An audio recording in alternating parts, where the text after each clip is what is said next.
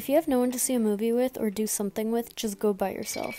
It's my second one. No one can stop me. Probably like Yada, but I'm surprised at how many people don't enjoy spending time with themselves.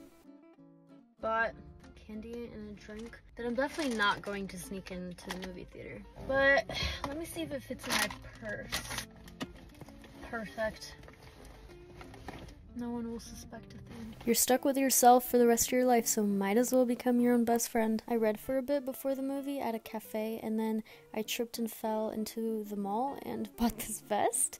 And then I went to go see Poor Things. Go see Poor Things. They are AMC Theaters. The ad is iconic, gets better each time. I don't know what I thought of Poor Things at first. I'm honestly still trying to piece everything together and finding the meaning of everything, which I'm reading online as you do. But I thought it was really good and deserves its many Oscar nominations.